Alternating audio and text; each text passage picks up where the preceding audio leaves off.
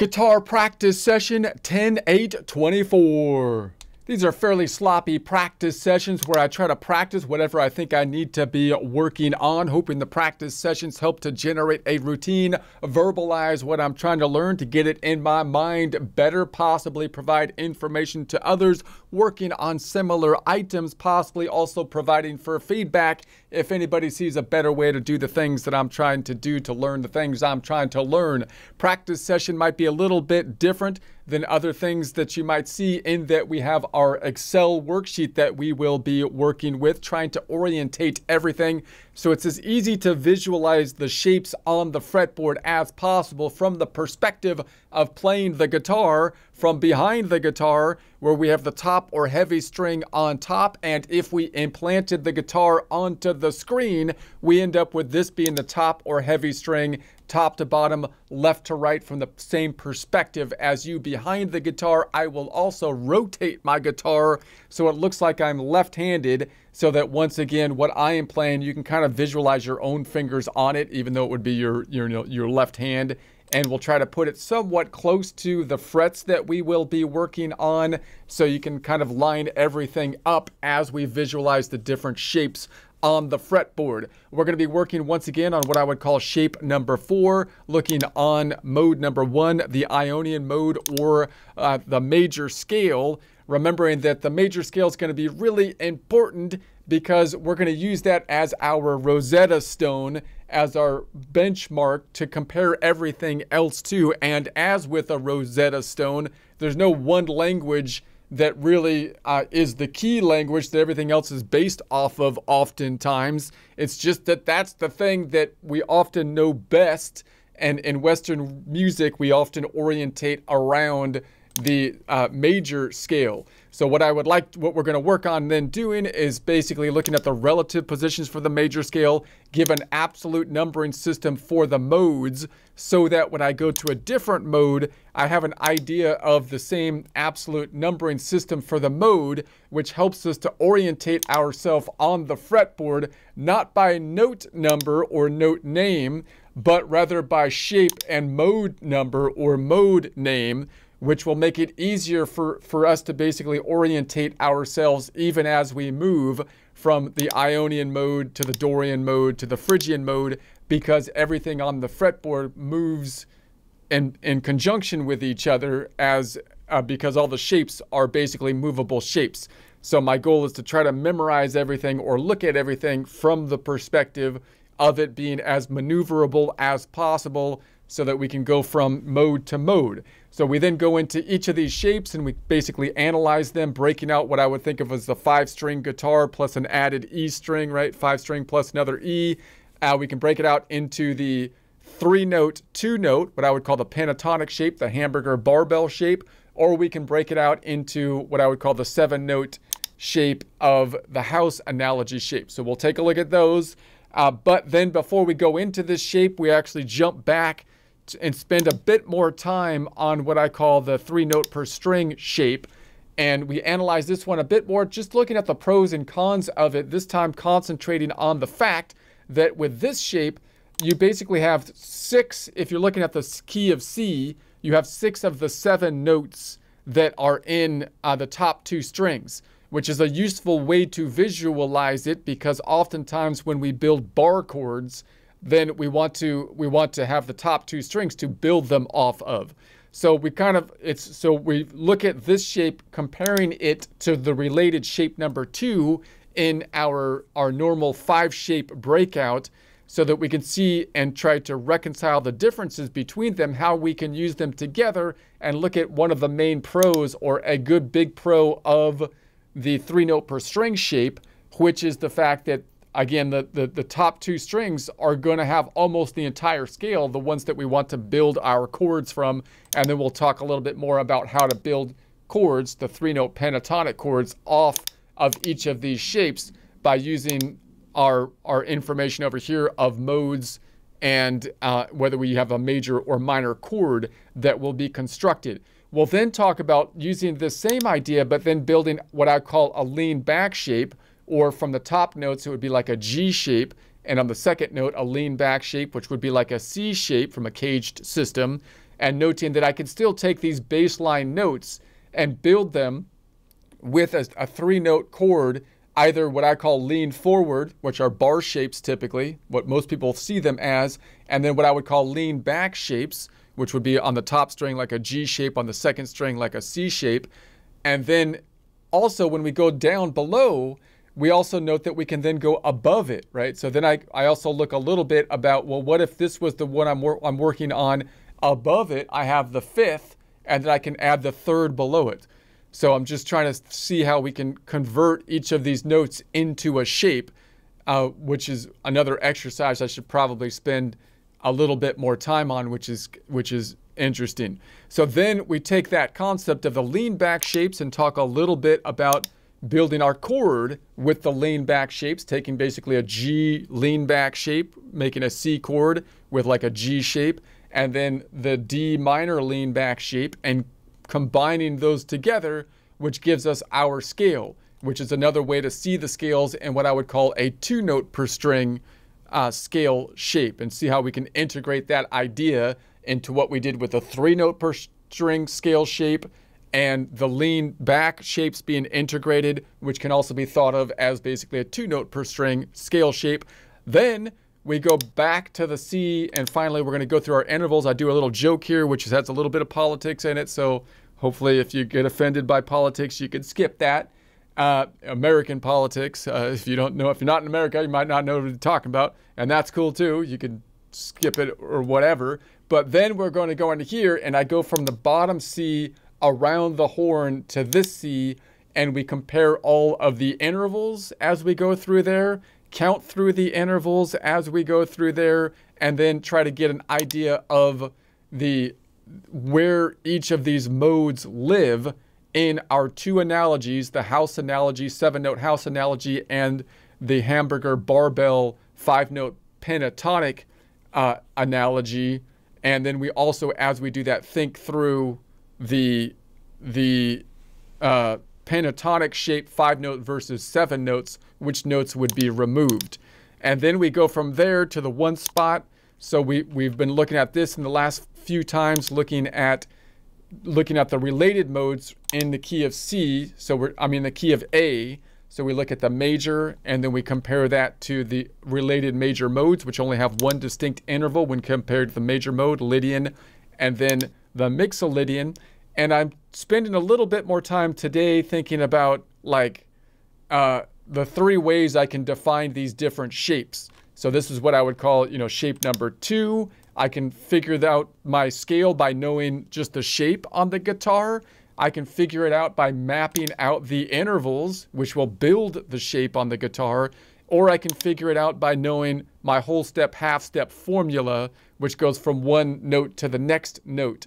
And I'm trying to work on different ways that we can kind of memorize each of those three ways to, to know the shapes because they all have their kind of pros and cons and are once again integrated, as well as the idea that the shapes are defined a lot by these half steps that are in the box, which we can determine that's actually one of the defining factors between going from a seven note to a five note pentatonic.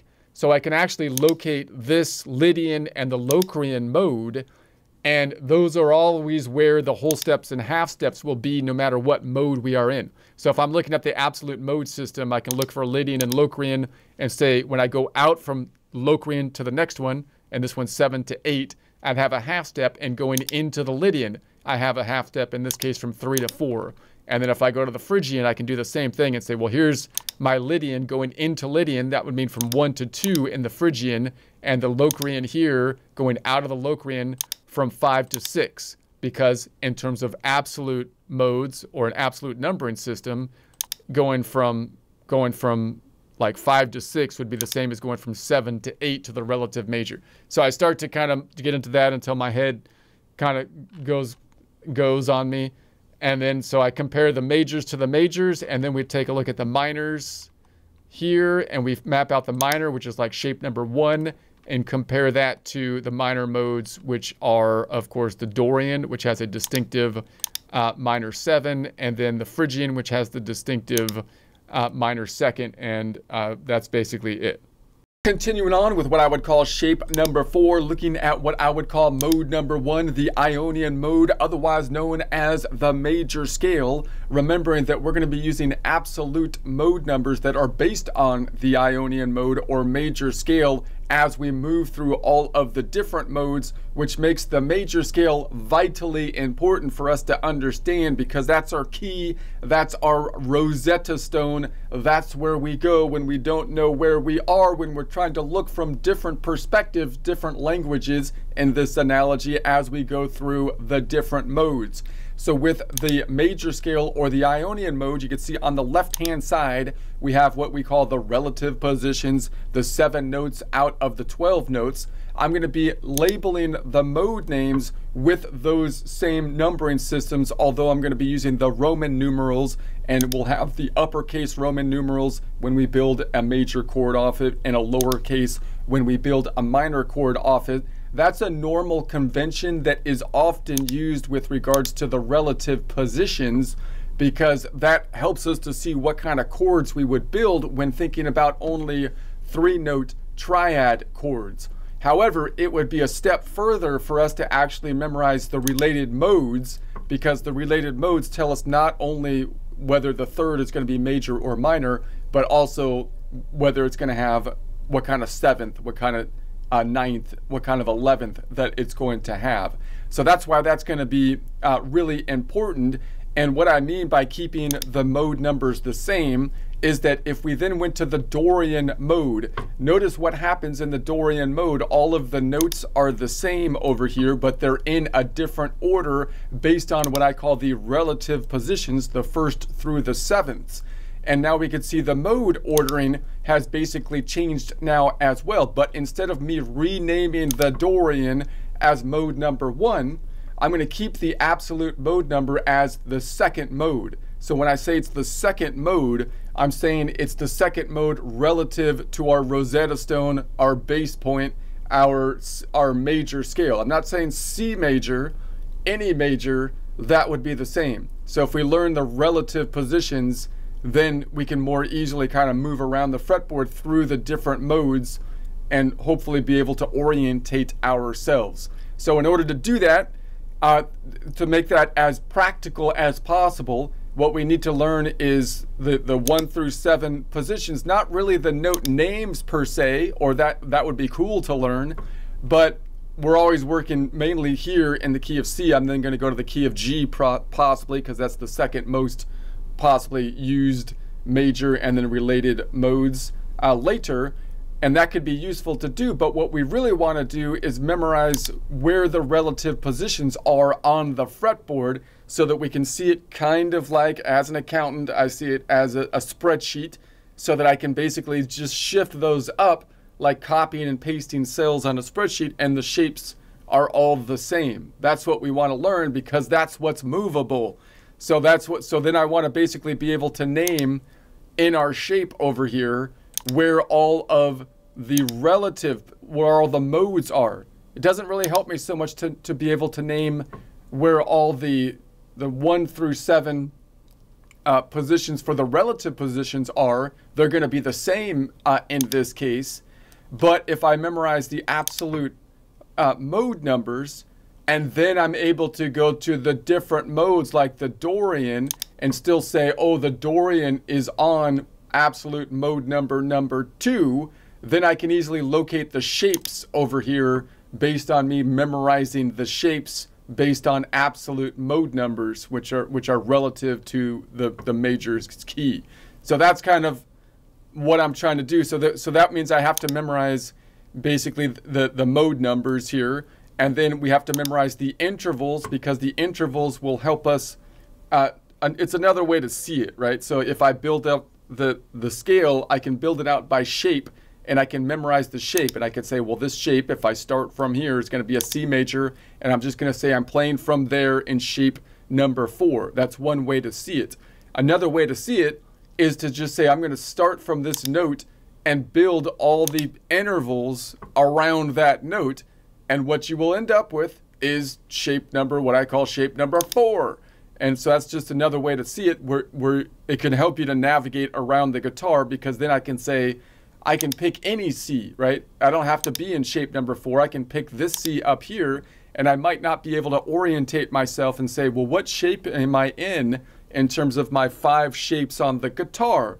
But what I can do is I can say, well, the, the I, if I start from there, I know it has a major second to it. I, I know it's got a, a major third to it, and you know, and so on and so forth. So I can build out the shape, and that's why we want to also learn the intervals, and then try to learn the the relative shapes of each of the intervals relative to this shape, which means I'm going to learn all these little shapes but then I have to adjust all those little shapes when I go over the fault line here because the shapes are going to be different because of the kink in the tuning.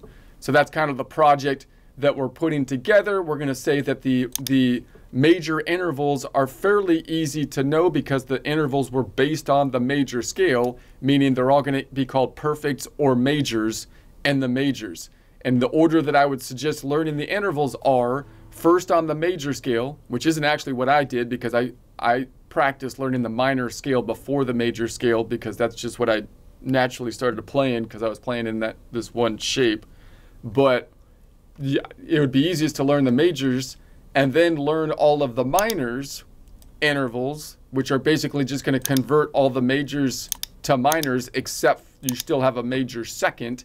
The perfects remain the same.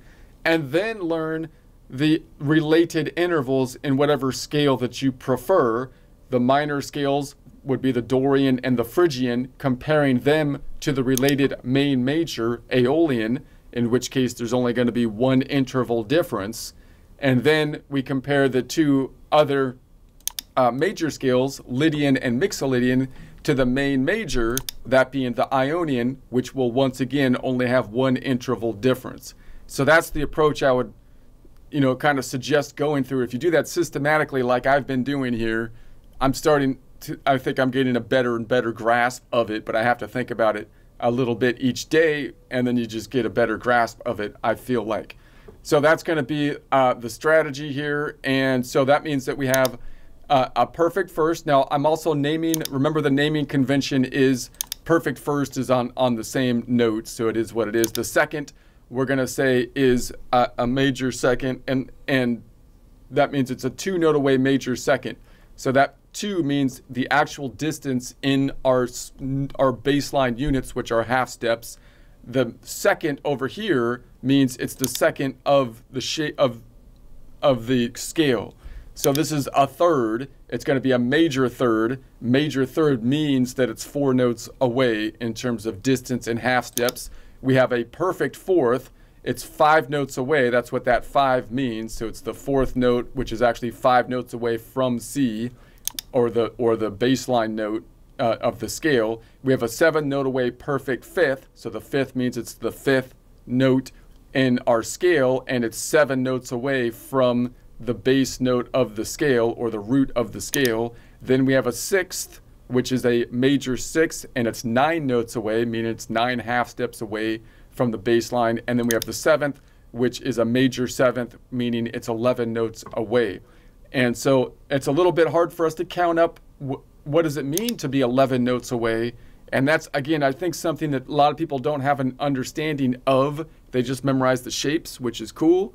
But if you understand the distance between the shapes, you can then get some surety of where you are at by counting from one to the other. So again, people often don't know like that that a perfect fifth is actually seven steps away on the guitar in particular as opposed to the piano because on the guitar you're typically going to be playing that on two strings and people don't know how to count the notes between two strings so that's what we're going to practice doing if you can do that then you can prove to yourself that you are playing the right note by counting the, the interval. So to do that, we have to know not only that it's a perfect fifth, but that it's seven notes away from the root and the distance between the strings, which is basically five notes for most of them except where the fault line is.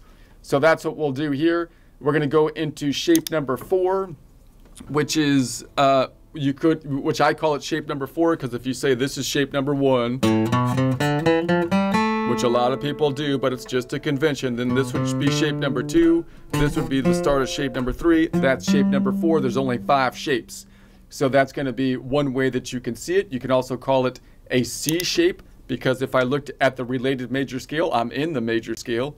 The caged system is based on the, the Ionian scale. That's our Rosetta, our Rosetta Stone shape mode when we think about our, our caged system. And you can see if I build a chord, which I'm also in open position, which is shape number four as well, you get a C chord. So you could call it the C shape, remembering that if I build my shape off of the C chord, there's only three notes in the C chord and there's seven notes in the scale.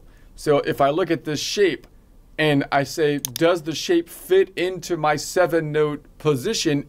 If it does, I'm, and I'm gonna say then it's a C shape. I can't do that because there's more than one of the five shapes where that C, three note C will fit into the seven note shape. But there's only one position of the five positions where that C three note chord will fit into the pentatonic.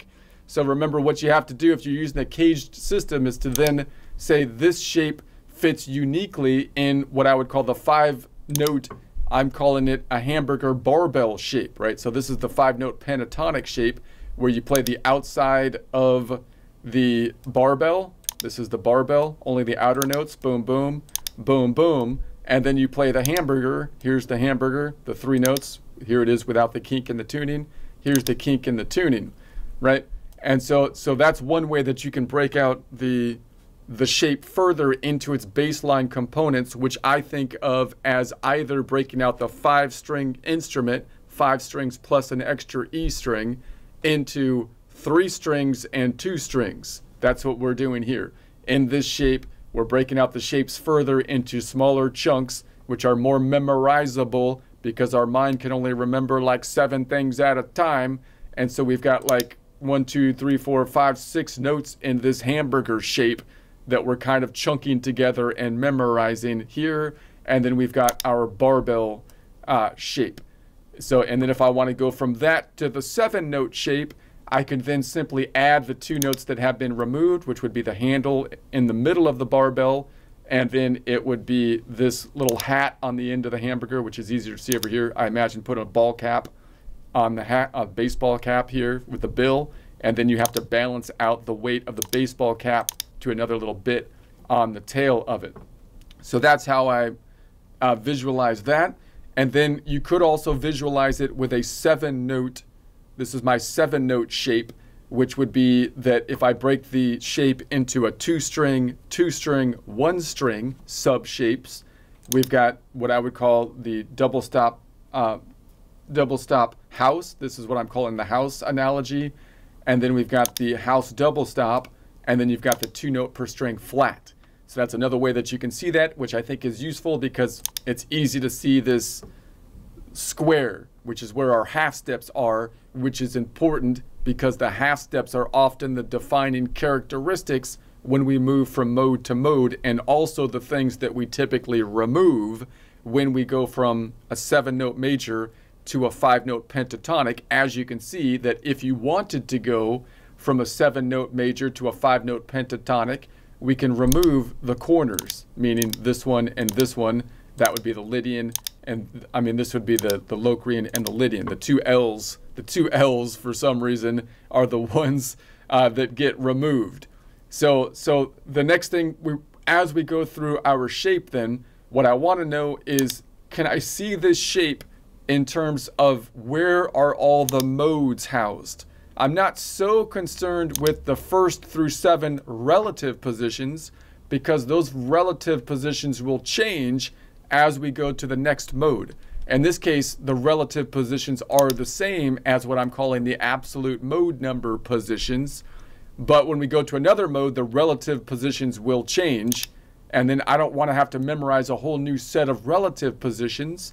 I want to be able to say, I want to convert the relative positions to the absolute mode numbering positions. Because, for example, this D is, is what I would call uh, the mode number two. It's still the mode number two over here, right? So then I can find that. So if I can if I can do that, then I can look at these shapes. I'm not trying to find the shape by note. I'm not trying to find them by note per se. I'm trying to find them by relative position in the shapes because that's the thing that's movable.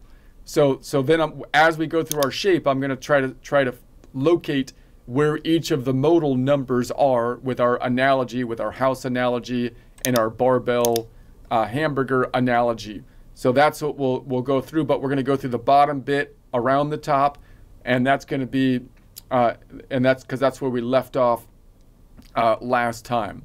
All right, so that's what we'll do. But before we jump into that, I want to first think about just to break things up. Uh, are are some of these other ways we can see the shape. So this is how we can see it and breaking the car guitar into five equal shapes, which is very useful for chord construction with multiple strings because I can I can most easily grab multiple strings this way.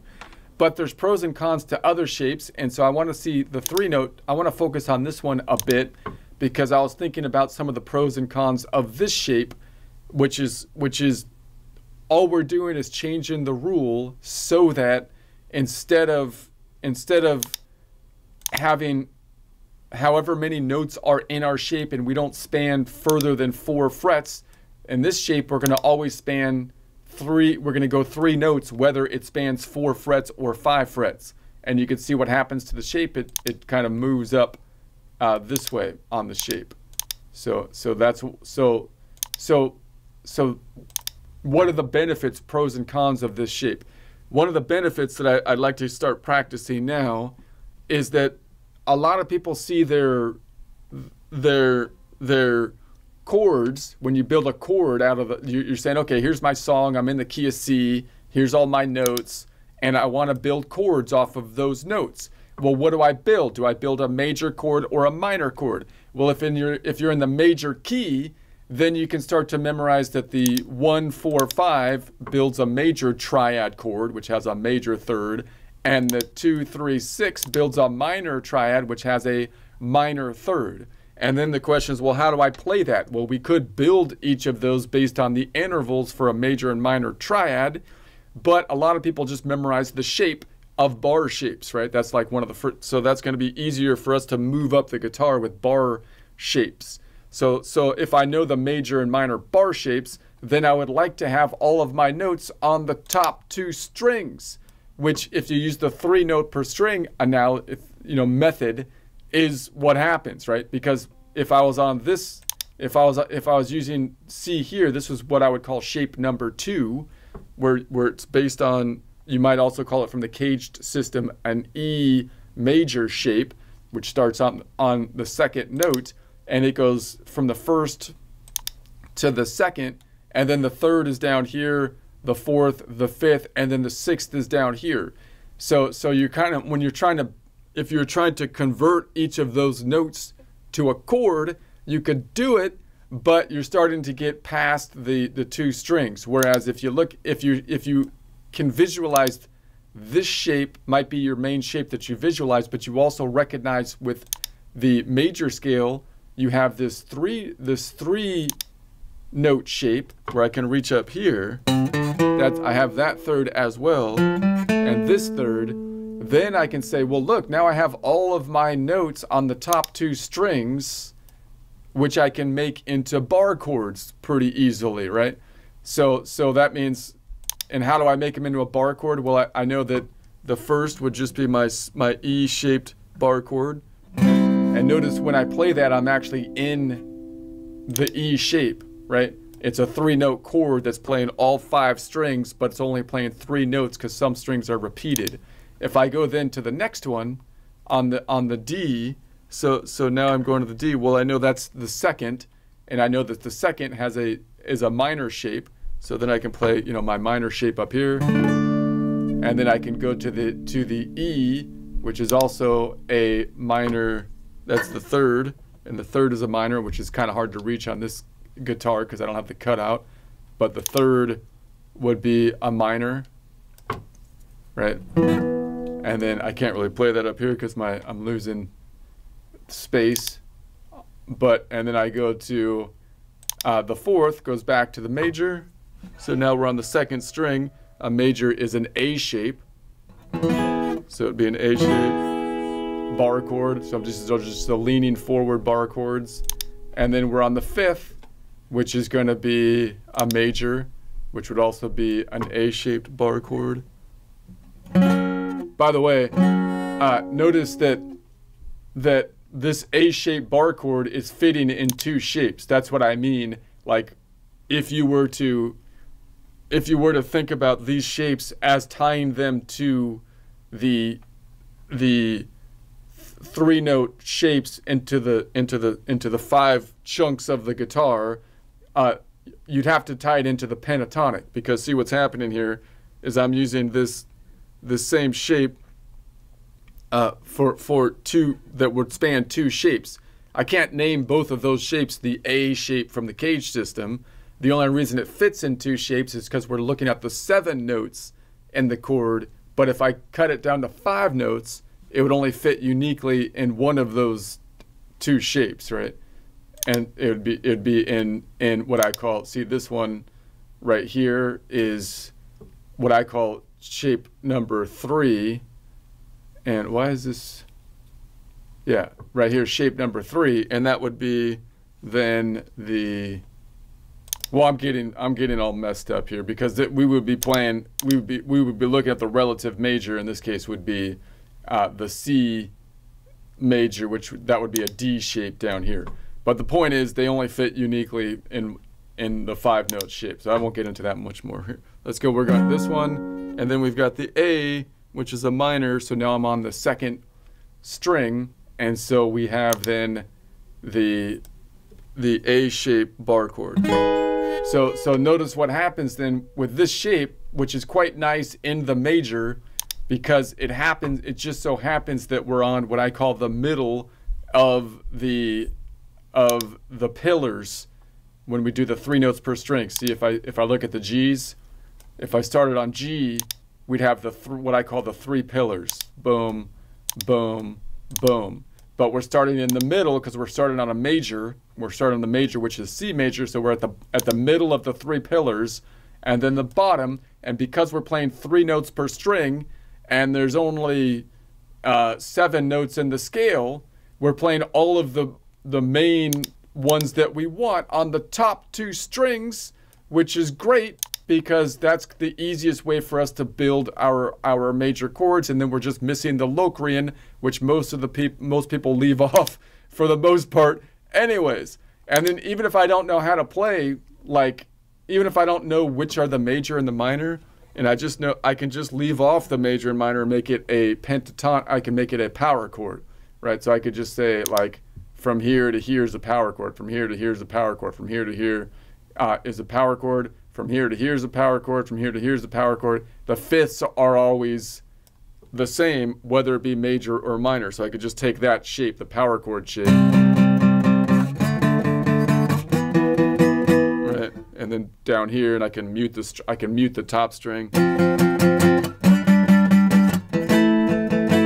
So that's a pretty use that's pretty useful way to see it to be able to, to visualize this three note per string in conjunction with this one because again it helps us to, to build those kind of lean forward shapes. Let's let's go through the the intervals real quick just to see what the differences are. Let's just take a look at the intervals. This is my normal major shape. This is what I would call shape number two, or you might just call it the uh, the E major shape, uh, E major bar chord shape. That's playing a C. I'm playing a C with an with an E bar chord shape, right? And so then, and so the second, it has it has a it has a two note away major second. It has then uh, a three note away minor third. So instead of going to this third, I'm going down to this third if I'm staying in what I call shape number two. So that's a four note away minor third. And then it's got a five note away perfect fourth, which is right underneath. So see how I'm just building the shape with the intervals. Five note away perfect fourth. So, and then if I if I have then this is going to be the seven note away perfect fifth, And then the next one's going to be a nine note away major six. So I'm not going to go out here. I'm going to go back here for now. And then we've got the 11 note away major seven, which is going to be, and then the octave.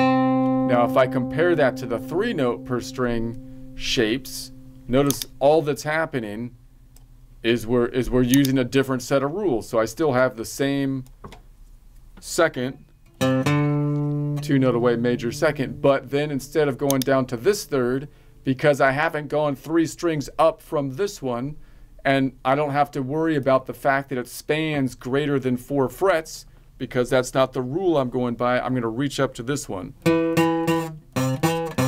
So that's my four note away major instead of this.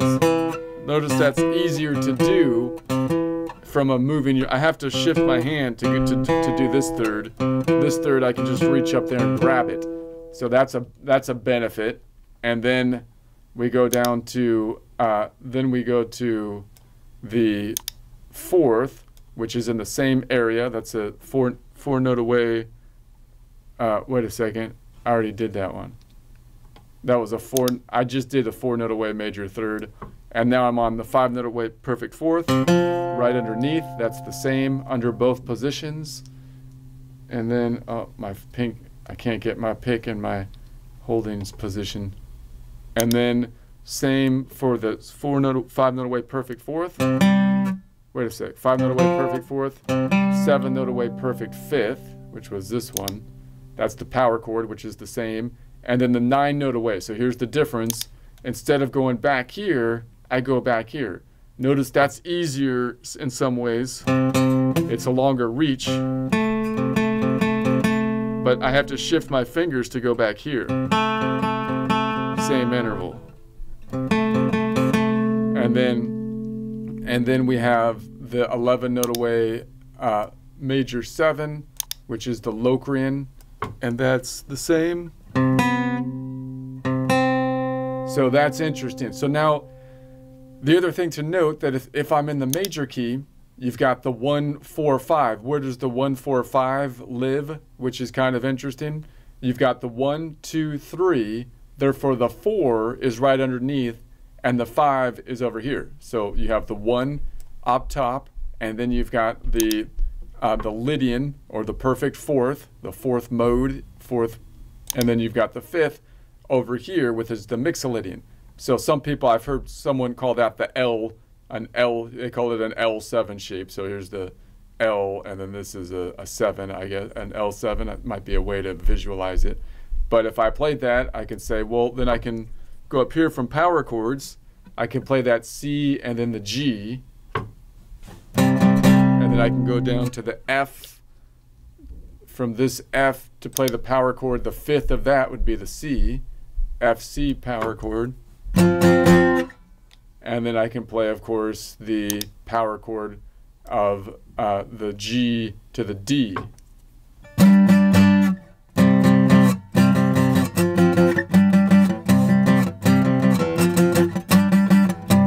Right, and then I could build a full a full bar chord on it, which means that I would build a bar chord like this, E bar chord, and then when I go down to the F, because I'm on the second string and I want to build a major bar chord, that would be the A bar chord. And then when I go to the G, it's also on the second string, of course, therefore I just shift that A bar chord up. And then when I go to the minors, if I went to the minors, then I could think about it this way. I could go to the minor key, right, which would be the 145 of the minors, which would be, if I convert that to the mode of the Aeolian or minor mode, there's the A, and then the, the E and the D. So that's going to be the, the minor uh, construction, which is a little bit kind of wonky here. It's a little kind of backwards uh, to see it that way. Uh, but you might most, more likely see it like as an, an A and a D and an E this way, right? So we'd probably on the minor start here, A, D, E. So, so that's useful. but note the other thing I just want to point out is that you can also build. Once I know these chords, I can start building other chords on top. Like another way to build the chord would be the lean back. This is what I call the lean back shape. So now with the C, I'm going to lean back this way, right? So I know that C's there. So I can. So if I if I was noodling around, I could play it this way, or possibly just play like the third, right? The third and the root. Maybe I don't grab the fifth, but the fifth would be back there. And then if I went to the next one, I could say, okay, that's going to be the minor now. So if I do a lean back chord, now that I know my intervals related to that D, then I'd go up to the D and say, okay, I'm not going to play that third. I have to go back to the minor third, and the fifth is the same. Notice we have the relative position for the fifth is the same. So, and then if I go to the E, this is going to be the fourth. So I can do a lean back chord here and say, okay, lean back chord. You might call this like a, a G shape chord because it would be here down to here it would be like a G shape if you're using a cage system. But one, three, five, if you just look at the intervals. And then we could go to, and then if I go down here, I could do the same thing. So now I'm to the F, which is a major. So same construction. The third is right there. That's my third shape. And the fifth shape is still right there. I haven't crossed the fault line. So the structure of the shape is the same as it was on the major. So if this was the major up top, I could just move that whole shape down here. And I can mute this top one possibly with my thumb if you want to do that, although that's not like, some people might frown upon that. And then you go to the next one which is going to be the G, that's also a major. So that means it's just shifting up as is.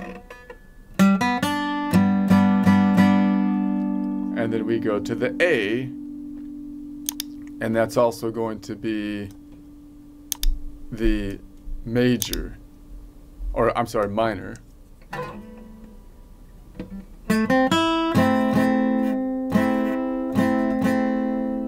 Can end it back on the C. So in any case, so that's another way that we can basically see it.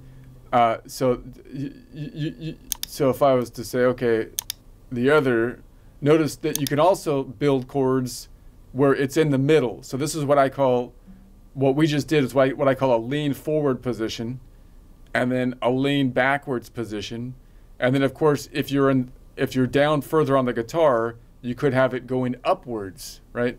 Because if I was on, if I was on, uh, like this F, for example, then then another way I can see it is well, what's the one where if I go above it, what do I have above it? Well, usually, normally when I go, I look at it down this way. So if I went from here to here, as we looked at our intervals, that would be a perfect fourth, and the inverse of that would be uh, it would be a perfect fourth that's five notes away. The inverse would be a 12 minus five, which would be a seven note away perfect fifth. So if I go from F to C and I see F as the focal point, then this would be the fifth of it. And then I also need a major third because this is a major scale, which would be my interval down here. So then if I look at this shape from the perspective of F, this is an inverted, you know, F major.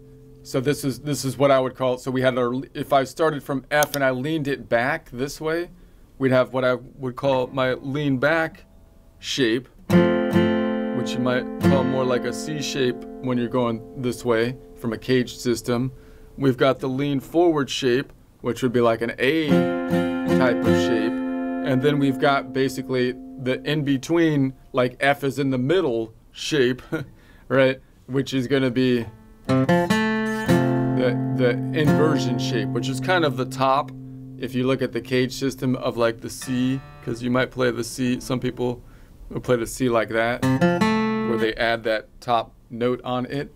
But often when we're up here, we're just looking for three strings. So you could just play these top three notes, and that could be a, a way that you can you can see the whole thing as well. So I'm just trying to say how these intervals could help us, and basically how like being able to view these three notes per string might be useful. I think it's quite useful on the major and also on the mixolydian because on the mixolydian we start up top I'm looking at G in this case in the key of G mixolydian and you've got that full three pillar shape up top. So once again you've got your power chords right there which you can convert into the majors or minors, which is a little bit more difficult because the mixolydian uh, isn't just the one, four, five major. You have to be able to say, okay, which which chords are major and minor, and a mixolydian, which you could use our little math exercises that we'll take a look at possibly when we get back to the C. Now notice just before we get back to the C that if I if I take that concept back here, this is our same enter this is our same scale basically just putting together the lean back shapes. So what I did, what we have here is, is when I looked at the three note per string, from C to here, one way we can look at that is we took this C, and then we took this D, which is the minor, right? And if I just put those two together, then I actually get my scale. I could just say, well, this here's the first of the here's the the one the one of the first, the the one of of the second, right, of the Dorian, and then here's the here's the two of the Ion of the three of the Ionian and the three of the Dorian. Here's the five of the Ionian and the five of the Dorian. And so then I could keep going, but that will be but that's our so right, this is just another way to see it that that I'm just I'm I'm using these lean back shapes and now putting them together which I can now view as instead of instead of viewing them as like okay these are lean back shapes that I put together based on the three note per string uh, based on the three note per string uh, uh, system to see these three notes and then I just built a lean back shape on it or you might call it a G shape uh, kind of thing right?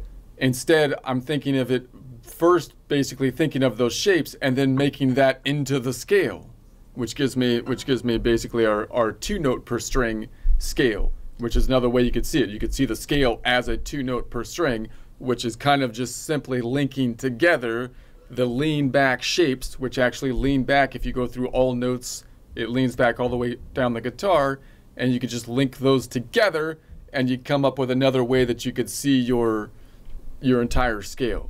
And then, of course, on these scales, if I saw it this way, you can see it the other way, right? I can say, well, if I'm playing this way, I'm going to do a lean forward.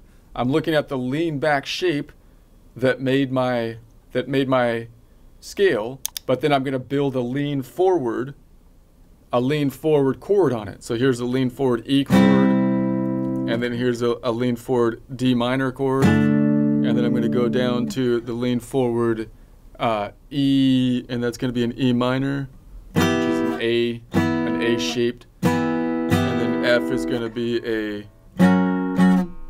major, so it's an it's an A shape, and then you can go down to the G, which is going to be a major, so it's going to be like a D shape. And then you go to the A, which is going to be a minor, which will look something like this. Anyway, so all right, enough of that. Let's go back to the to the heart of things. So now we're going to go back here, and I'm going to be in this shape. I'm on the C. I'm going to go around the horn to this C, looking at our intervals uh, here. Before we do, though, let's do a joke. Let's do a joke. This is my practice session joke. It's got a little politics in it, so try not to be offended. here we go whenever thinking about music theory, most people like discussing the pros and cons. And obviously, whenever learning anything, it's good to consult the pros in the field to, to see what they're thinking, right? So I get it. I get consulting the pros. but why do I why why do I want to the advice of the cons? I mean, do do we really need to con- consult the criminals here? Like, what are we? What is this? Some kind of what? Like the Democratic Party trying to buy election votes? We don't need to. Why would we consult the cons for music theory? Why not just talk to the pros out there? So we we don't need the advice of cons unless unless we're seeking to learn how to make like a like a toothbrush into a into a makeshift shiv knife shank thing. Otherwise, I don't really see the benefits. It's like it's like well, you know, th- this is what Julian Lage, professional bluesy jazz player, has to say about the essence of music. And it's like, okay, that's interesting. And then it's like, and, and because we really need to be to to balance things out when thinking about guitar theory, we also must get the opinion of this con, Scarface, who, who, who's been locked up for abusing his neighbor's cat. Equal, equal perspective, balanced opinions, and all that, you know? And it's like, so, you know, actually, some say that Scarface barbecued his neighbor's cat along, along with some local park geese but but the mainstream sewage media, mainstream of sewage media, won't let us won't let us say that. They won't let us say that on the YouTube. So I won't. I'm not going to say that. I won't say that because because I, I will for the sake of humanity and civil discourse and monetization refrain from mentioning I won't even mention the idea of, of neighbor cat eating or the delicacy of park pond turtle. Actually, you know, he was, I don't even think he was, I don't know the story or anything, but I don't even think he was arrested for eating cats, even though they say there was like strong evidence. But, but this is just, this is just rumor. But, but it it wouldn't be politically correct to arrest him for eating cats these days. That's a that's a no-no apparently. So so he was actually arrested for coughing up a fur ball on on some lady's Gucci shoes as she as she exited her her BMW with some Hollywood California license plate on it to enter some fine dining restaurant. The the fur ball coughing at that point being considered quote disturbing the peace, which apparently apparently that qualifies for action to be taken. The, the, the, police the police are completely stumped as to how one man could have had so much fur in him as to warrant arrest over furball coughing. You know, it's a mystery. Honestly, modern modern mysteries these days are more complex than like Sherlock Holmes out there. It's tough to it's tough to see what's going on around here. I tell you. Anyways, I'm sorry, but unless unless the con has some kind of, of advice about how catgut strings play better on the guitar than nylon or steel strings, or maybe maybe how fur balls in your throat make make a cool like dampened vocal quality to your singing. I feel like consulting the con is a waste of time here, and we should just stick to talking to the pros. Plus, I just think it's funny that that as a country, what we choose to to get upset about with whatever the the big T man's the the big T man rhetoric, you know, because because honestly, he he says over the top hyperbolic statements all the time. So it's just kind of interesting to note which ones of those hyperbolic statements become the talking points, right? I mean, I mean, I'm I'm not sure anybody is actually eating cats, but seriously, is it is it really that offensive to say that a starving person might start looking at cats and dogs as dinner? I mean the the Beverly Hillbillies were eating roadkill possum for crying out loud, and that even after they became rich, they were still eating roadkill possum, and no one was no, no one was really offended about the implications. I mean, starve Starving people stuck in the mountaintops have eaten their own foot for crying out loud. It, it, like, like if it's between starving or cooking up my good old horse Trotter, uh, Trotter will most likely not be trotting anymore. I don't see why that's like I'm not sure that's offensive, but I don't I don't really get it. Anyway, let's get back to the music. All right, let's start. Let's start at this C here, and then we're gonna go around. So we're on the C major. That means where does the C live? It lives in our seven-note uh, house analogy. It's going to be in what I call the penthouse of the house, the top right of the box, looking towards what I call the ocean over here. That's where mode one, the Ionian mode, in essence, is going to be uh, living. All right, and and in terms of the five note per string or pentatonic hamburger barbell analogy, it's at the bottom of the hamburger, which is easier to see over here because you could it doesn't have the kink in the tuning. Bottom left, the major support, bottom left bun of the hamburger is where we're starting, and then it's on the right side of the barbell. All right.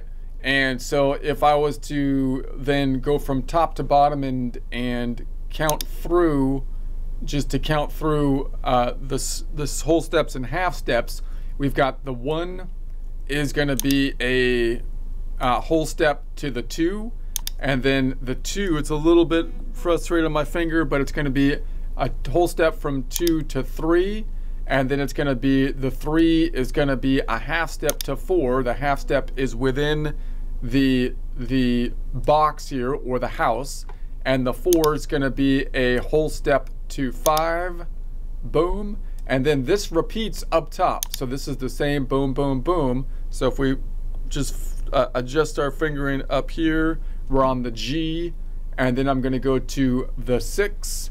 And so the 6 is going to be a whole step to the 6. And then if we go to the 7, we've got a whole step to the 7. And then we have a half step to go from 7 back home to 8. So notice that the the major scale is interesting because remember where the half steps are the half steps, that's going to be the important one important characteristic that we can kind of use to differentiate the different modes because the half steps are always going to be in this box shape, but it depends where we start as to where the half steps are going to be if we look at relative positions from the first through the seventh. So in this case, we start right on the, the outside of the house here. So we've already, we're already on the end of the box. So therefore we're going to go, there's going to be one note in, be in between before we get back to the box. So one to two, two to three, and then we have three to four is going to be our half step. And then we're going to we're going to get to the next box isn't going to happen until we have two notes in between. So we have this note in between and then it goes around the horn and this note in between before we get back to the box. And that means it's not until we get back to seven and eight so one way to see this in terms of the major scale is to realize that one half step is right behind it, right? It's the half step that leads into it. That's the leading tone. So that means that we know that one half step is going to be the seven to the eight or seven back to one. And the second half step is going to be from the uh, four to five. So one to two, one to two, three, two to three, and it's going to be three to four. So three to four is going to be the, the second uh, one. So three to four, seven to eight. Now the other thing useful to, to realize that I'm trying to get in my mind is the relationship between the half steps and the pentatonic scale.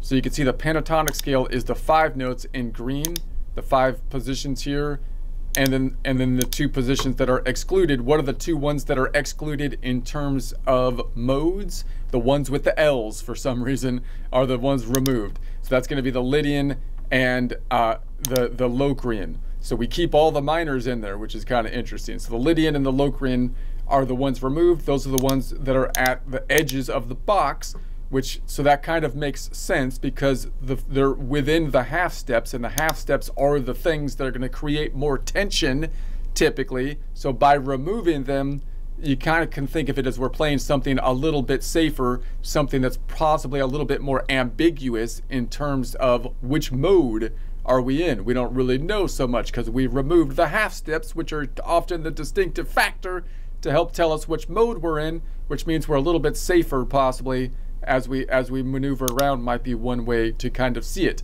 But that also means that we can kind of determine where the where the half steps are because if I if I look at this one, it's going to be from 3 to 4. So on the fourth, it's leading into the Lydian. So the one that's leading into the Lydian, that's the half step uh, that is that's going to be the half step. And then on the seventh, that's the other one that we remove, uh, which is going to be the Locrian, uh, which is the, the, the, the, the Locrian is the B. And this one, it's leading out. So we're, we're so it's from seven to eight.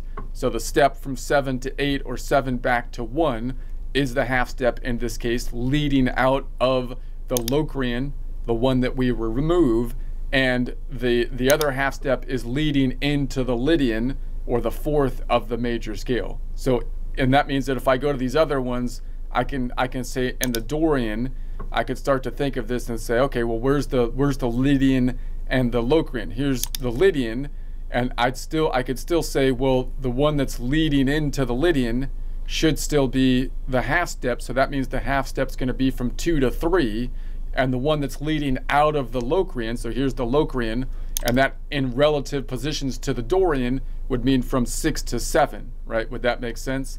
Because that would still be in the box over here. If I'm in the key of the Dorian, I'm still labeling these same ones by saying from B to C, that's that's going to be the half step, uh, which which is going to be the Locrian to the major. So I can label it that way the absolute position or absolute mode number seven to absolute mode number eight is going to be removed. And then the absolute mode number three to the absolute mode number four is going to be removed, right? So even if I'm in the Dorian, if I can name these as the absolute mode numbers, then I can all I can I can be able to convert that to say, well, where's my half steps? It's been between the absolute mode number uh, seven to eight absolute mode number, and then and then where does that where does that lie here? Well, it's in the relative positions, uh, which are going to be seven to eight, which which is uh, uh, here to here, which is going from six to seven relative position of the Dorian. All right, I'm going to play with that concept a little bit more. That was just something that kind of uh, uh, I think is worth possibly pondering on. But let's move on for now because I've my brain is hurting from thinking about that. So let's go ahead and uh, if I played through this position, it would be one, two, three, four, five, and then it repeats. Sorry, I can't. Three, four, five, six, seven, eight. So it repeats up top, right? So one, two, three, four, five, three, four, five, six, seven, eight. Okay, so then let's go ahead and uh, do our our normal process. So the second of the major is a two note away major second. So I could see that because it's two notes away. The inverse is going to be 12 minus 2, which is 10. That would be a 10 note away minor 7. So if I go this one from C to D, 2 note away major second, from D to C, 10 note away uh, minor 7. And then I also know that the second of the Ionian mode will also be the second mode.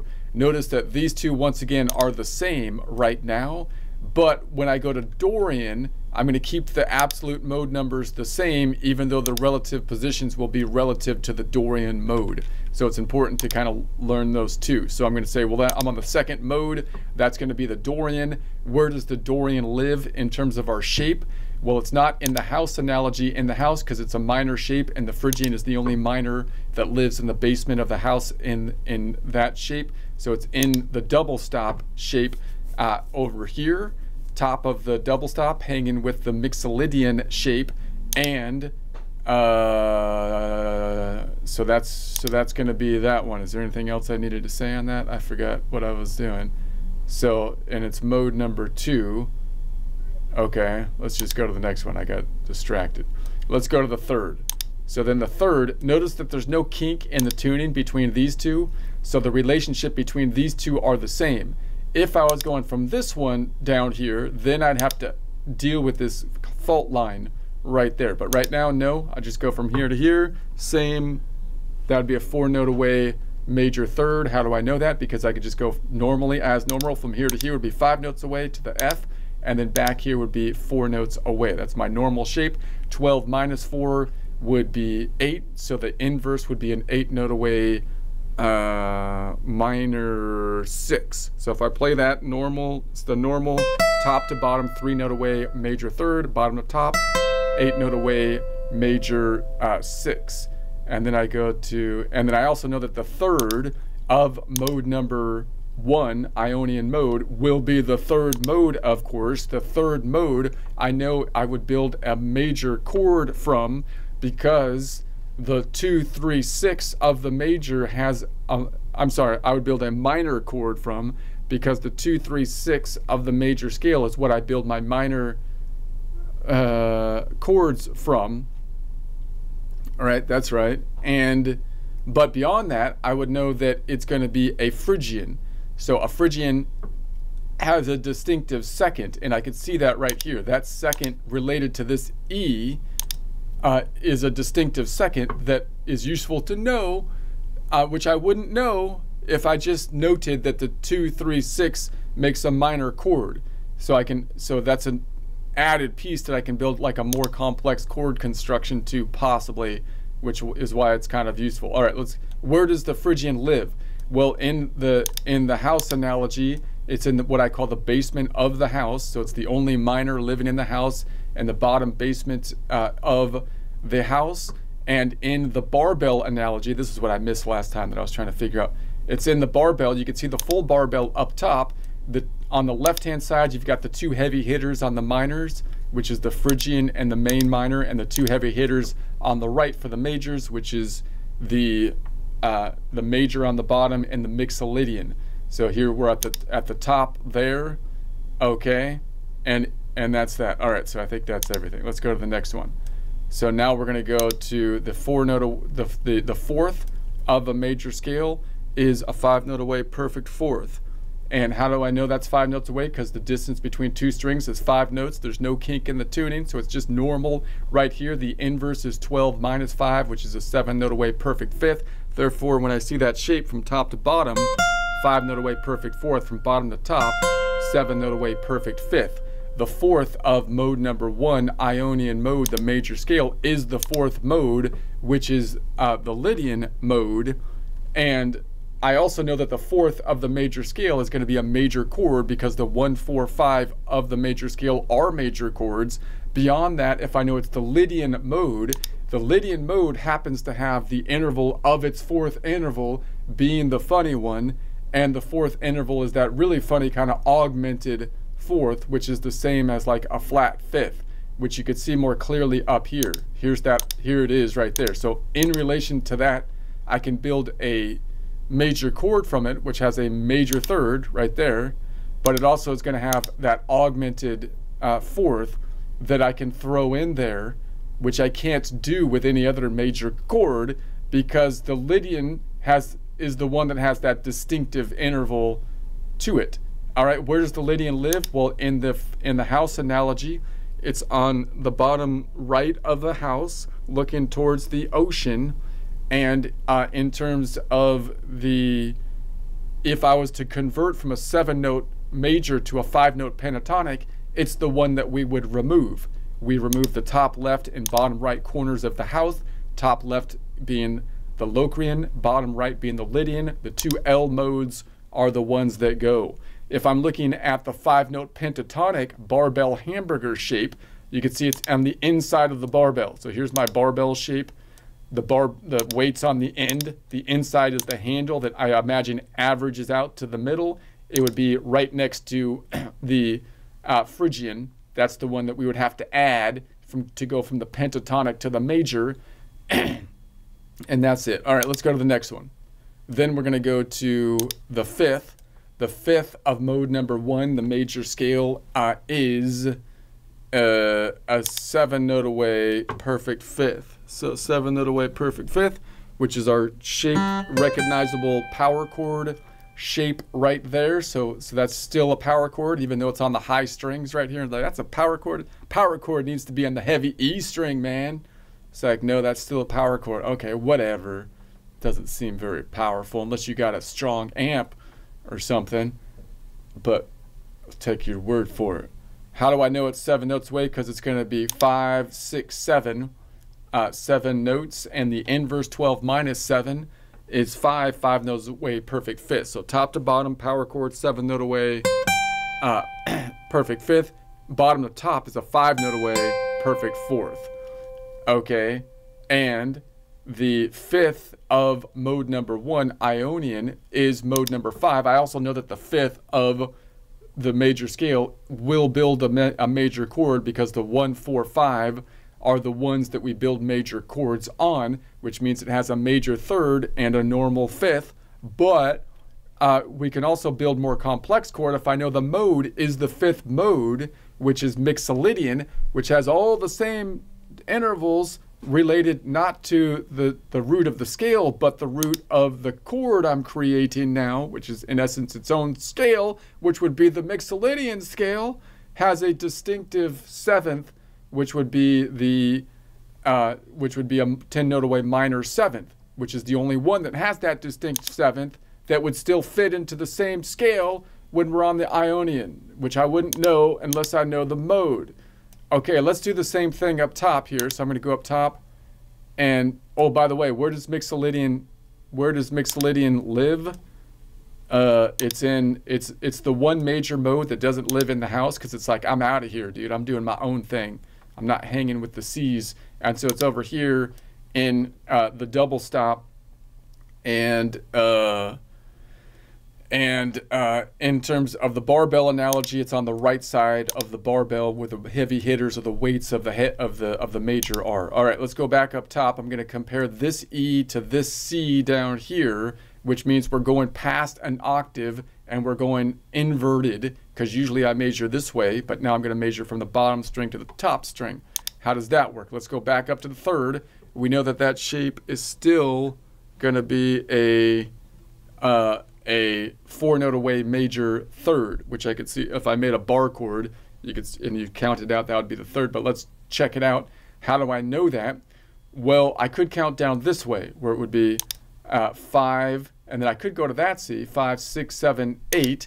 So that would be eight notes away. Or if I went this way, five, 10, 15, and then 20, because of the kink in the tuning, goes up to 20. There's only 12 notes. 20 minus 12 uh, would be like 10 minus 2, which would be 8. So, so if I went from this to this, this would be an 8 note away. So that wouldn't be in a bar chord. What am I talking about? That would be an 8 note away uh, minor 6. And the inverse, therefore, would be 12 minus 8. Which would be a 4 note away uh, major third. So, so that's how we might be able to figure that out. If I saw this, usually I would count this way to this way, or possibly to the closest C that I'm looking at, and then take the inverse if I want to see it from measured from this side to that side, right? And so let's and so that if I and then if I by the way, I also know that this is the Phrygian mode. So remember, if I'm on the top, it's more likely that we can easily see how we would construct our chords, which would be a minor chord like this that has only three notes in it. But then I can throw in this second right here, which has that distinctive Phrygian second. And I also have it down here. So I can shift this finger up to here, right? So if I'm playing this, I could be like,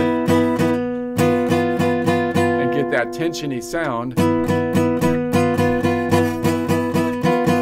which I can only do on the Phrygian minor. I can't do it on the Dorian on the two, and I can't really do it on the six. I could, but it won't be in the same key. That note will not be in the key of the related Ionian mode, which is why it's, that's kind of useful to know. And then if I go to the to the F, uh, which is the Lydian, and I want to compare this. So now we're on this one compared to this we're going to say that's going to be the fifth now, which is a five note away perfect fifth. How do I know that? Well, if I count them down this way, it'd be five, six, seven, or 5, 10, 15. This would be 20 up to here, back to 19. 19 minus 12, because there's only 12 notes, is basically my minus 2, which is 7. So this from here to here looks like it's a 7 note away perfect fifth. Therefore, the inverse would be a 5 note away perfect fourth.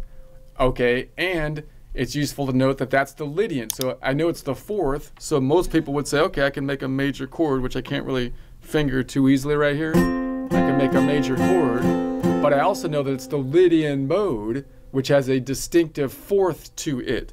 And the fourth is like the flat fifth, so it's it's it's right here. It has that distinctive B. So if I'm playing this major right here, I can play it like, is there a B that I can throw in there that'll make it sound like kind of Lenny I can shift my finger back.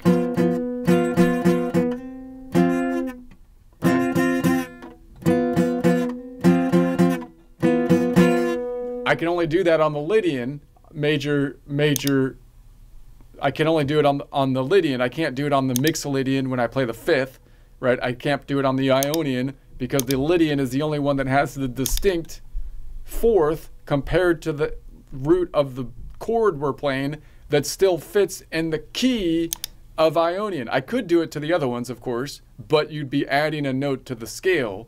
Whereas here you're still in the, the same scale you're in because you're playing within the related mode, which has a distinctive uh, interval. All right, let's go to the to the Mixolydian.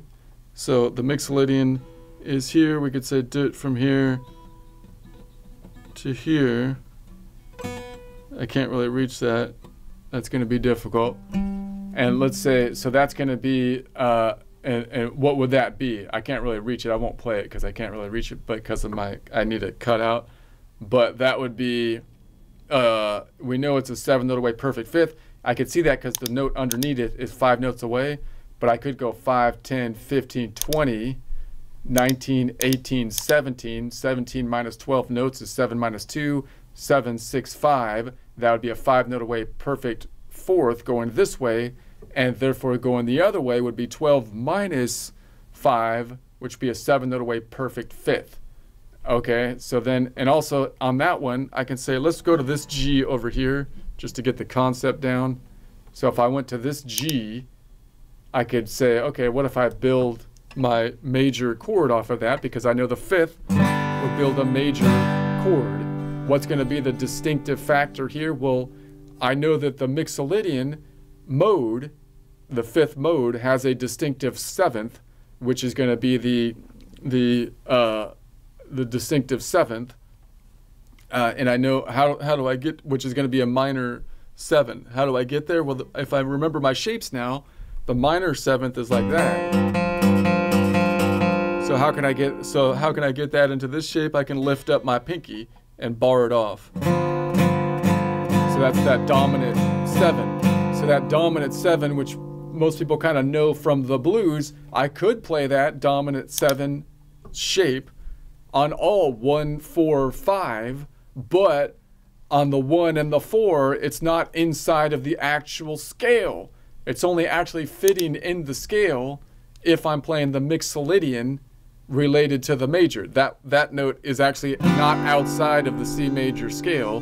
Whereas if I did that same thing on the one and the four, you could still do it. It might sound cool, probably will, but those notes aren't actually in the same key, right? That's why it sounds a little wonky, which is cool. Wonkiness is cool as long as the house doesn't fall down. Some crooked timbers make it give it some character, you know, it gives it a little gives it a little character.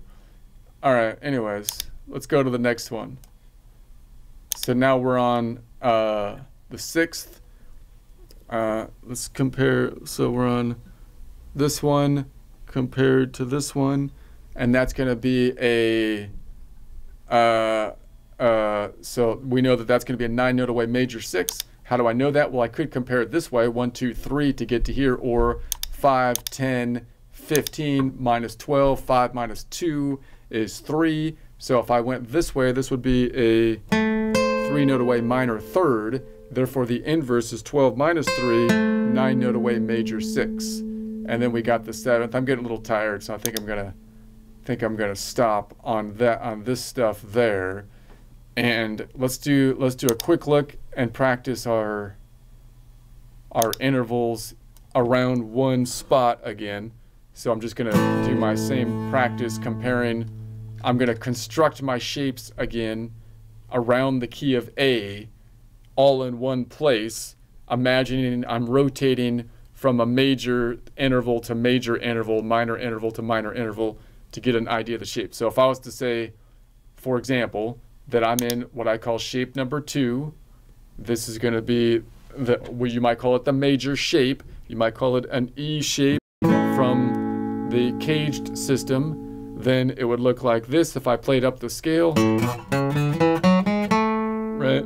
And then, and then, uh, so that, and if I looked at my intervals and just say, well, how is that being built? If I built this shape, it would just be, okay, I've got, I've got the one to a two note away major second, and then I've got the third. I'm not gonna go out here to the third, but rather back here to stay in my shape.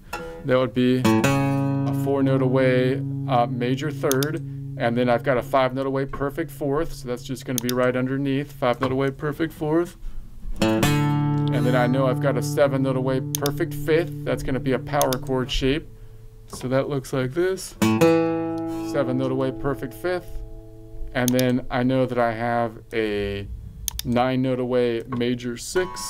And then I know that I have an 11 note away uh, major seven and a octave. Now the other way you can build this shape, by the way, is you can think about the whole steps and half steps between each of them, right? Which is, it's gonna be a whole step from one to two, whole step from two to three, half step from three to four, whole step from four to five, whole step from five to six, whole step from six to seven, half step from seven to eight, right?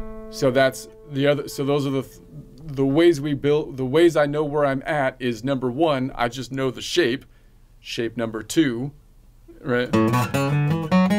Or I build it from intervals based on the root interval. So I'm going to say, well, it has a perfect first, major second, major third, perfect fourth, perfect fourth, major six, major seven, or I know the half step formula going from note to note whole, whole, half, whole, whole, whole, half, right? Like, I get that right? One to two is whole, whole, half, whole, whole, whole, half, right? So those are the three, three way, and it would be nice if I can get each one of those down, which I'm obviously I'm not perfect at, but that's what I, I'm thinking I might practice towards. So now let's compare this major shape to its related, another related mode and just see how it differs. So this is the Lydian mode, only has one different, uh, different interval, that's the fourth. Lydian is kind of useful because if I memorize it as the fourth mode in terms of absolute modes related to the relative major, it happens that the fourth interval is the funny interval and the funny interval is, uh, is an augmented fourth. So if I see this same shape, what does that do to my shape? It converts my shape from shape number two to now I'm still in the same place, but I'm going to be playing shape number four, which you might just call, I would call it the second note Lydian shape. Uh, that's one thing you could call it. Or if I looked at the cage system, I look at the related major, which is an E, which is right there. And if I build a shape around that E, lean back shape, you've got a C shape. So that means you might call it a, like a C shape from a caged system. It's the E chord C shape that we that we can build around. Uh, and and so then uh, so then if I was to play this from here, it'd be whoops. Wait a sec. It's a little wonky because one, two, three, four. There's the funny one. Five, six, seven, eight. So there's that wonky interval uh, that's going to throw us a little bit that, that, that we can emphasize to get that Lydian uh, in there. So that's the distinctive interval. So let's just count them out one at a time. So it still has a two note away major second and then it's got the three, the four note away major third. Instead of going out here, I'm going back here. I could do either one. I could reach out there and go outside my shape, but inside shape four would be going back here. And then I've got the funny one, uh, which is going to be the six note away. It says diminished six, but it's also an augmented fourth. I should, so the worksheet just don't let that bother you. Hopefully, two names for the same interval, but I need a fourth, and therefore we're going to call it a six note away augmented fourth. And then we've got the uh, back to normal, the seven note away perfect fifth. And then we've got the ninth, which is back to normal. Remember, we could play the ninth out here. It's a bit of a stretch, but doable. But we're going to play the ninth inside shape number four, would be going back here. And then we go to the 11 note away major seven, which is here. And then back to the octave. So the distinctive notes between this and the major. By the way, I could start to see it in whole steps and half steps. And if I count that out, that might be useful. Remembering that the half steps are still in the box. So here's the box. So, and I also note that the half steps are in the two notes that are removed when I go to a pentatonic, which you'll recall are the two ones with an L in it, the two modes with an L, Locrian and, and uh, uh, Lydian. So from Locrian, it goes out of Locrian. So from four to five, you would expect a half step. And then the Lydian uh, is up top into Lydian. So that means from seven to eight, uh, you'd expect a half step. Now that makes sense because seven to eight would be going home, and the other one is on uh, is on the Locrian, going out of the Locrian four to five, which is going from uh, four to five to the here to the rel, rel, to the Ionian, Locrian to the Ionian. Okay, so if I count that out, then I would have whole step. Maybe I can say it that way. I can say it's going from it's going from the first, which is the Lydian, to the second, which is Mixolydian. First is a Lydian, whole step to the second, which is Mixolydian. Second, Mixolydian is a whole step to the third, uh, which is Aeolian. The third Aeolian is a whole step to the fourth, which is Locrian. The fourth is a half step to the fifth, which is going to be uh, the the Ionian or major. The fifth is a whole step to the sixth, which is the Dorian. The sixth is a whole step to the seven, which is Phrygian. And the seven is a half step to the eight, which is Lydian. Interesting. What if I said it this way? First is a whole step to the second, which is absolute mode number four. Second is a whole step to the third, which is absolute mode number five. Third is the whole, whole step to the fourth, which is absolute mode number uh, seven. I messed up. I'm, I'm not going to do that right now. My head's my head's hurting. Let's just say that the difference here between these two modes is the is these two, right? So if I didn't play those two, I wouldn't really know if I'm in major or Locrian.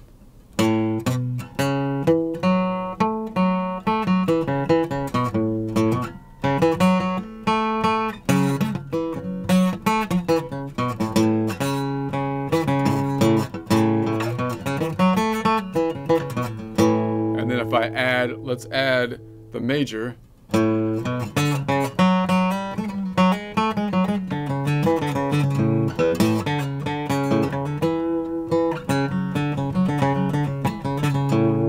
now let's switch to the Locrian.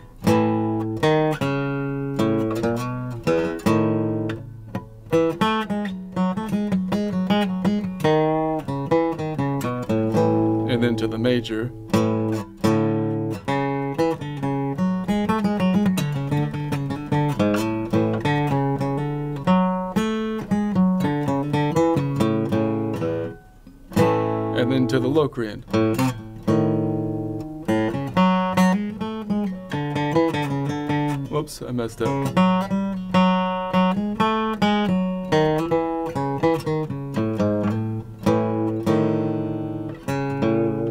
I don't know. Let's go to the next one. running long on time here. We got the the Mixolydian. So if I convert this from the major to the Mixolydian, then the distinctive mode is going to, the distinctive interval is the seventh, which is a 10 note away minor seven. That converts what I would call shape number two from the major shape to what I would call shape number five, or from a, a, a caged system, I can look at the relative major, which is a D, and build my chord based on the D, which would be an A shape. So you might call this an A-shaped uh, a D, right? An A-shaped D shape, an A-shaped D chord shape, and then uh, so so so that, or you might just call it a Mixolydian shape because if I played it from the top, we'd be playing Mixolydian, which would be one, two, three, four, five, six, seven, eight. Where's the distinctive note? One, two, three, four, five, six, seven. There it is. Okay, and so then if I looked at my, if I looked at my intervals, just to count it out this way, I'm going to say, all right, it's, what does it got? What do we got? We've got a two note away major second, and then we've got a four note away major third, which I could go out here to play, just to keep that in mind. But to stay inside the shape, I'm going to go down here. So that's a four note away uh, major third. We've got a five note away perfect fourth like normal. We've got a seven note away perfect fifth, seven note away perfect fifth. We've got a, a nine note away major six, which we could play out here, just to keep that in mind. But to stay in the shape, we're going to bring it back here nine note away major six. And then we've got a distinctive minor, which is a 10 note away minor seven. And then back to the octave. So we don't have that leading tone to go back home as we typically do. So where where are my half steps in here? They're in the box. So here's where the box lives. So if I was to try to count this out, it would be one is a whole step to two, Two is a whole step to three. Three is a half step to four. Four is a whole step to five. Five is a whole step to six. Six is a half step to seven. Seven is a whole step to eight. So another way to see it is that the notes that would be removed in a pentatonic are the Locrian and the uh, and the Lydian. So the Locrian going out of the Locrian means it's going from three to four. So three to four would be removed. That's the C sharp to the E, or to the D, C sharp to the D, that makes sense. And then going from into the Lydian, from the six to the seven, which which is here to here. So if I know, so so that's interesting to realize. Okay, but let's not ponder that too much right now. So we're gonna say then that we have the distinctive seven here and here. So those are the distinctive ones. So if I was to play this through without those two,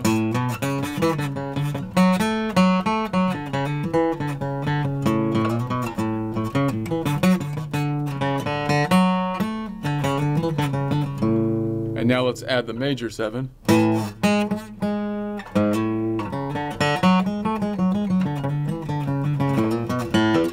And now let's go to the minor seven.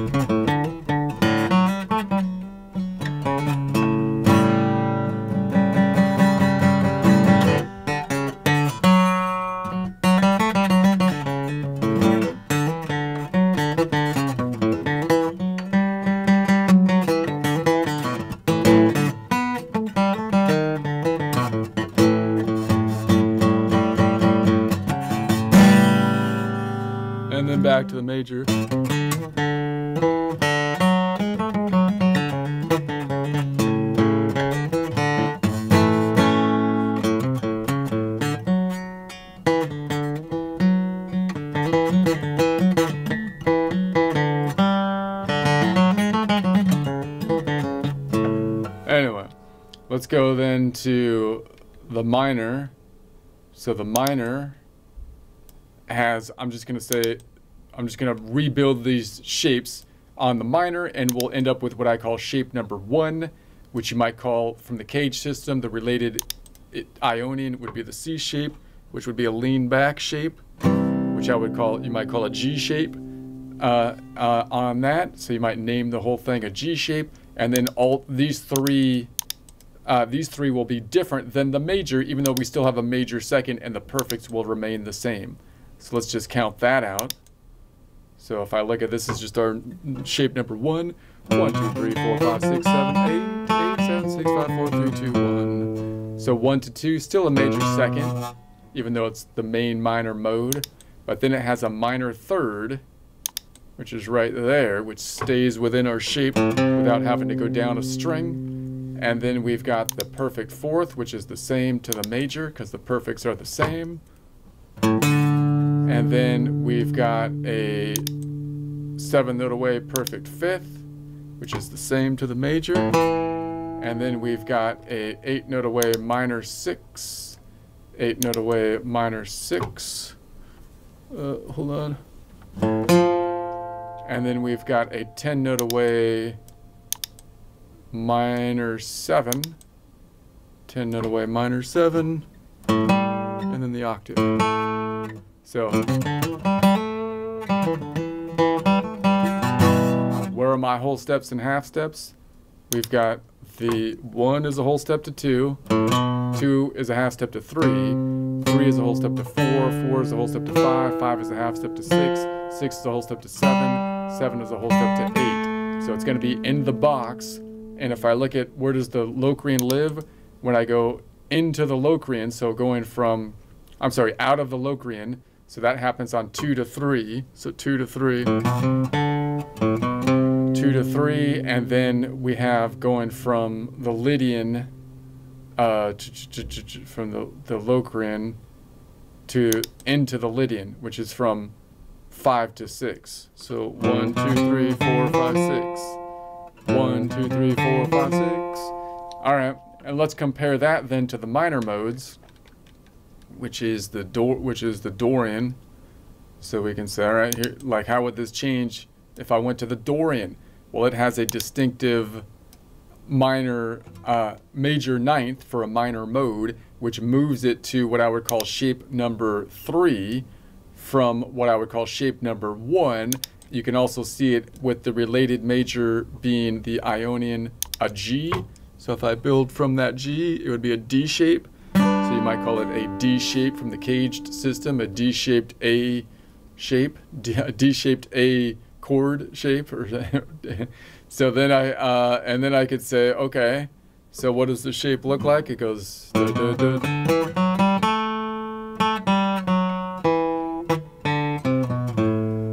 Okay, let's look at the intervals. Where's my distinctive? One, two, three, four, five, six, seven, eight. One, two, three, four, five, six Right there instead of one, two, one, two, three, four, five, six instead of there.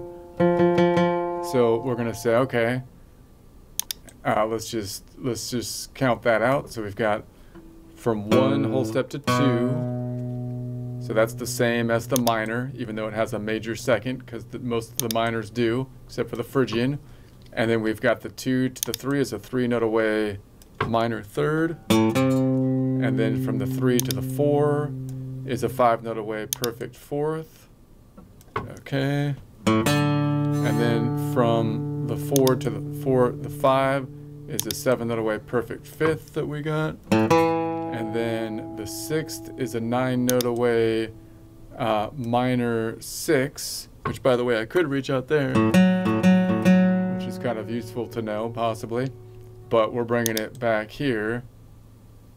Uh, this is a nine note away major six. And then we've got the uh, 10 note away minor seven. And then back to the octave. So where's the funky, where's the note difference? It's right there.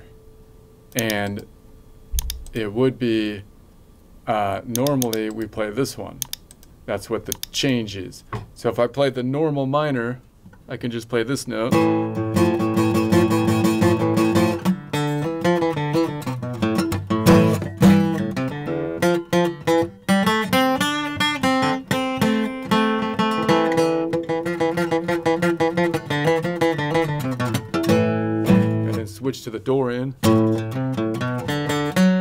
Reaching out to this note, past it, so right here. That's one way we can do it, or down here.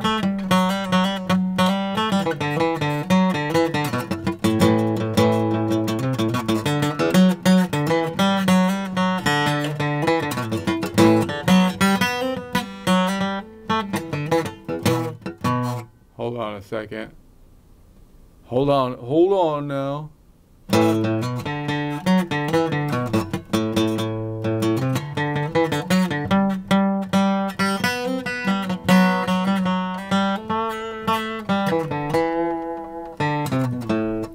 To the normal minor.